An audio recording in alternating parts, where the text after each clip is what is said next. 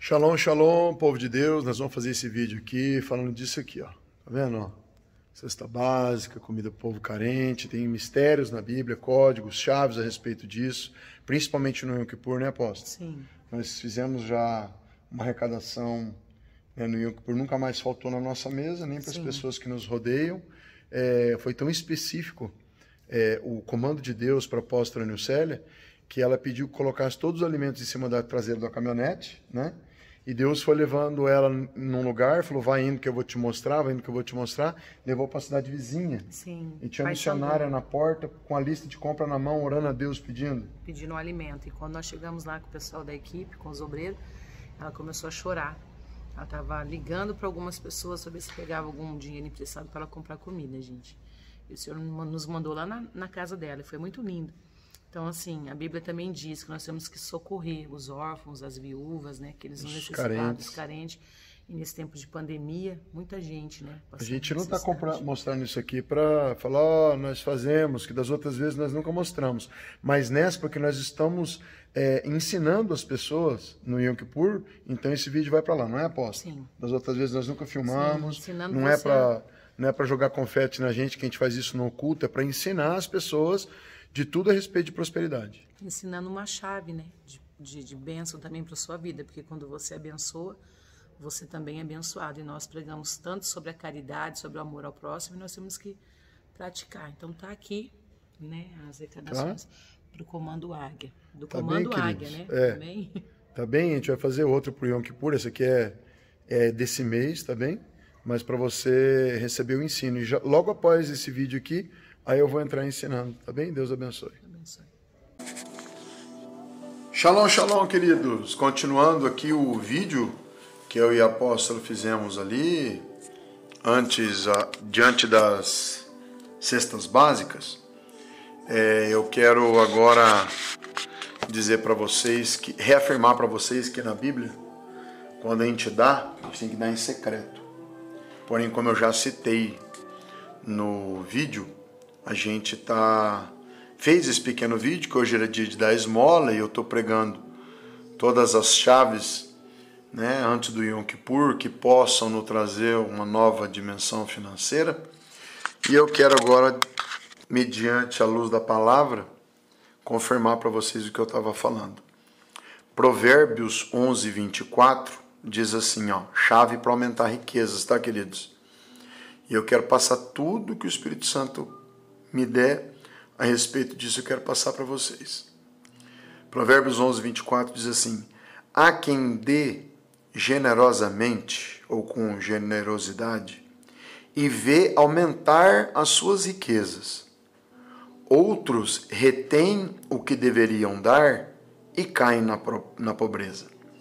Tá bem? Eu vou repetir para vocês porque isso parece que é simples, mas é uma verdade de Deus para as nossas vidas. Satanás diz que a gente tem que reter tudo e virar uma represa, e Jesus diz que não, que quanto mais você der, mais você vai receber. Né? E aqui, isso é repetido na Bíblia em diversos livros, mas aqui em Provérbios tem um muito lindo que fala sobre aumentar riquezas. Tá? E aumentar riqueza de maneira alguma é pecado. Pecado é você ter avareza no seu coração. Amém? Pecado é você ser egoísta, orgulhoso, né? E essa avareza, né? essa falta de generosidade para com as pessoas, para com os irmãos, isso é muito feio, né? Olha em Salmos 37, 21, antes de eu repetir que legal que fala. Os ímpios tomam emprestado e não devolvem, mas os justos dão com generosidade. Olha que lindo é isso, queridos. Eu já vi pessoas chegar em mim e pedir. Putz, você podia, podia me emprestar um dinheiro e tal e tal. E vim lá com a quantia, eu precisava de, de 200 reais. Né? Eu precisava de 400 reais, me empresta. E eu olhar assim e falar: Não, eu não te empresto, eu te dou. Né? Já por você estar emprestando para uma pessoa que você pode perder a amizade dela por causa de ter emprestado esse dinheiro, né? Não que não faça falta, tudo que você tira de você, né? Vai diminuir uma quantia, uma quantidade, isso é fato. Porém, Satanás quer colocar um- uma visão em nós de que a gente deve ser avarento e reter, né? Aqui diz na Bíblia: há quem dê com generosidade e vê aumentar suas riquezas, outros retêm o que deveriam dar e caem na pobreza. Isso é muito forte, queridos. Amém? Deus fala que quando você for dar, cada um dê conforme determinou em seu coração, não por obrigação, né? não com pesar, não com dificuldade, pois Deus ama quem dá com alegria, está ligado ao coração e não só ao bolso. E a gente tem que entender o que a Bíblia realmente está passando, né? Porque tem pessoas que começam ou a se aproveitar da palavra de Deus para alguma coisa, né? Mas aí de outros por medo de estar tá deixando alguém triste, pensando, ah, fulano está falando de dinheiro, deixam de pregar, sabe? E aí, se você não ensina um exército como se é, se portar, como se comportar, né? Aí você vai criar um exército manco, débil, sabe? Faltando coisas. Eu já disse muitas vezes, não adianta a pessoa ir lá e operar maravilhas e milagres e na hora dela, dela olhar para a vida financeira dela tá com o nome sujo. A gente pode passar por isso. Você pode ter o seu nome sujo. Eu já tive meu nome sujo, né? Mas tem pessoas que não têm vergonha, né? Elas não estão preocupadas em limpar, em pagar os outros. E isso é muito importante, queridos, a gente ter uma conduta justa diante do Senhor. Poxa, pai, eu não tenho, mas eu vou lá conversar com a pessoa, eu vou conversar com ela para ver se a gente consegue parcelar, se eu posso prestar serviço para ela, se eu posso fazer alguma coisa. Isso é lindo diante de Deus ainda, queridos. Tá? É, a gente diz que cada um deve né, entregar o que lhe é devido. Se é imposto, deve pagar o imposto. Se é tributo, deve pagar o tributo. Se é temor, temor. E se é honra, honra. Amém? É, é um mistério de Deus, queridos, você entregar. Eu vou falar algo ainda mais profundo. Tem pessoas que nem deveriam estar ouvindo isso agora. Mas quando alguém te afrontar, que nem fizeram isso comigo essa semana, comigo com Célio, pessoas se levantaram até nas redes sociais e quanto às nossas vidas e Deus falou para não fazer nada, né? Ter inúmeras coisas para falar, para me defender, mas o Senhor falou: oh, estão com inveja e deixa invejar, que é comigo. Se você for fazer a justiça com as suas mãos, é com as suas mãos. Se você deixar para Deus, é Ele que vai fazer. Tá bem? É com as mãos dele. Quando alguém se levanta contra você e começa a orar e começa a declarar tua, tua, tua tristeza na tua vida, dificuldade, escassez, você deve chamar o Senhor e não as pessoas e não é, o juiz aqui dessa terra. Chame o juiz lá do céu e fala: Senhor, hoje eu levanto o tribunal, né, sobre a vida dessa pessoa. Mas diz na palavra de Deus, querido, que, impor, que a esmola ela paga o pecado. Olha que mistério. Esmola paga o pecado. Então quer dizer, se passou por cima de alguma coisa que você acabou não percebendo, que você passou batido, tá? E você é, ou foi injusto com alguém, ou falou alguma palavra que alguém não gostou, ou olhou para algo que entristeceu o Espírito Santo, tá? Algo que passou, tá? No teu, na tua peneira aí passou isso e agora está chamando um tribunal diante de Deus. Deus vai colocar as tuas obras na balança e as obras daquela pessoa. A gente não vai ser salvo pelas obras vai ser salvo pela misericórdia, mas suas obras são apresentadas diante de Deus quando você chama um tribunal. E aí você chama as tuas obras e as obras da pessoa. Antes de você fazer chamar o tribunal, vá primeiro olhar para a tua vida. Já viu aquela parábola que fala, né? Que você é, aponta né, um, um cisco no olho do teu irmão, esquece de arrancar a viga que está no teu olho. Então primeiro você vai entregar aos pobres, vai fazer esmola, caridade e depois você vai chamar o tribunal de Deus. Para quando estiver diante do tribunal lá, você esteja com tudo apagado. Já tenha pedido perdão dos teus pecados, entregue esmolas aos pobres, né? E aí sim você vai poder chamar esse tribunal. Não adianta você chamar o tribunal e você está devendo. Você está devendo dízimo, oferta, está devendo de fazer caridade para os pobres. O reino de Deus né, é cuidar das viúvas e dos pobres também, do órfão. Né? Em Provérbios 22, 9 diz: Quem é generoso será abençoado, pois reparte o seu pão com o pobre. Amém? Queridos, é, Deus ele está observando as nossas atitudes aqui na terra. Em Provérbios 11, 25 diz que o generoso prosperará. Queridos, generoso é quem dá às pessoas. Amém? Não é que é para quem empresta. Quem empresta não é chamado de generoso, é para quem dá. Amém? Eu falo com a apóstola Nilcélia, é, nós compramos um fogão novo, tem o velho ali, o velho já está sendo doado para a base, se não fosse para a base, para casa de alguém. Sabe? Não é o fogão velho, é o fogão que era pequeno, quem tinha aqui, compramos um fogão maior, né? Sempre gente aqui em casa tem que fazer com panelas maiores, comida para mais gente. Assim é com os celulares. Acaba de trocar um celular, para quem vai dar isso? Não é para quem vai vender esse. Nós nunca podemos vender, Deus nunca deixou. Né? Imagine que de 15 anos para cá que eu sei, Deus nunca deixou trocar um celular, né? É, até o som da igreja, um som caro que tinha já três vezes. O som era bom, o som era caro, tinha um som que valia lá uns 10 mil reais. Né? A gente ia vender para incrementar mais o nosso. O senhor falou: não, isso é semente. Se, se vocês venderem, vocês vão apenas comprar mais um pouco de som. Agora, se vocês derem, grande vai ser a colheita.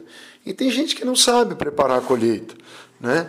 Fui lá hoje com a apóstola, passando no mercado, falei, apóstolo, hoje é dia de levar umas, umas cestas básicas aos pobres. Compramos 10. Amém? E vamos levar. Né? Não, não, cabe, não cabe demais no carro, mas 10 cube.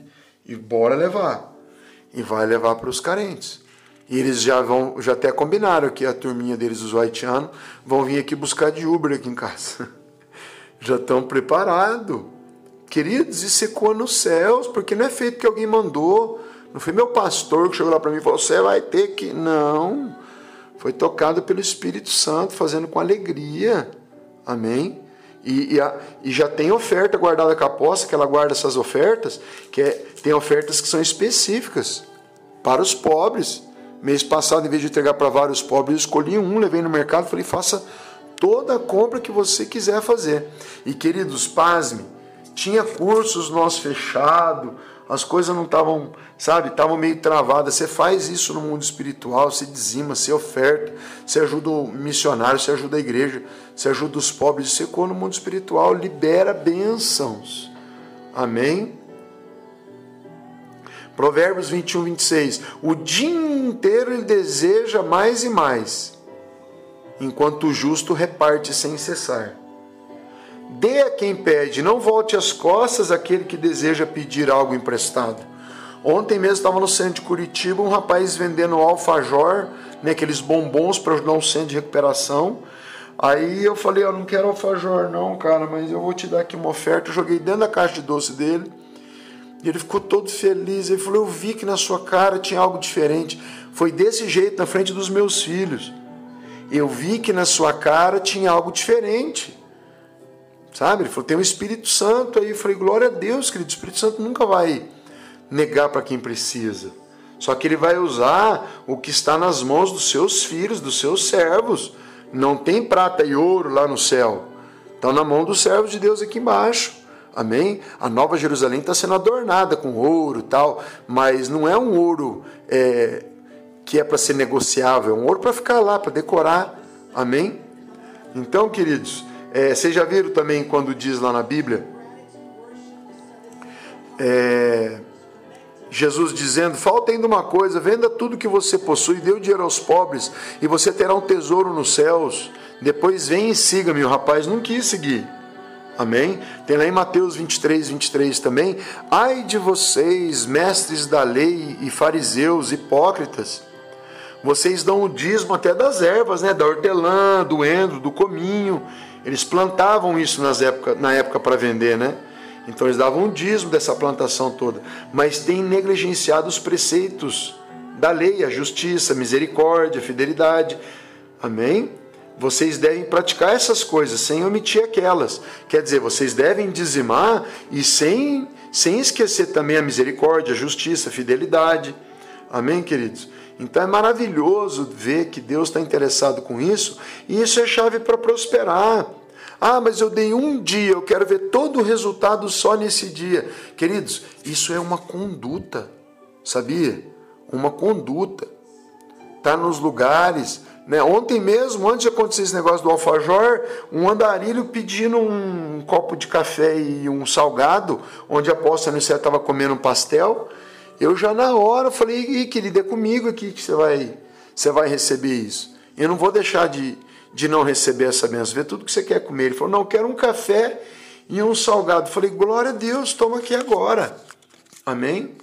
Às vezes a gente pichincha tanto na hora de comprar uma coisa, tá? Que isso aí é normal, economia, né? Mas daí chega ali uma pessoa né, que está é, necessitada de algo, quanto você faz, está fazendo para Deus. Porque na Bíblia diz: quem dá aos pobres empresta a Deus. Olha que mistério. Amém? Então aí teve meu, meu, meu videozinho com a apóstola, tá? E aí que está o ensino para você. Nós falar, tá? É, são muitos áudios, acho que vão ser em torno de 50 áudios com vídeos até no dia do Yom Kippur. Coloque-os em prática, ouça um por um dentro do nosso canal do Telegram ou dentro do nosso canal do Comando Águia, que estão todos lá enumerados. Coloque em prática para você ver. Já fizemos estudos sobre generosidade, sobre pobreza, escassez, avareza, generosidade, é, é, prosperidade, é, riqueza. E, queridos, à luz da Bíblia, não é estudos seculares, não. Tá? E assim é, tá bem? Deus vai te abençoar muito. Comece a colocar essas, esses códigos, essas chaves em prática tá? Eu vou fazer uma para amanhã sobre um cartão que é um manto e vou começar a pregar sobre a lei da atração para você ver como é que é bíblica, tá bem? Tudo aquilo que seu, sua mente pensa, que você começa a atrair, atrair, você assim conquista, tá bem? Que Deus te honre muito, te prospere sempre em nome de Jesus.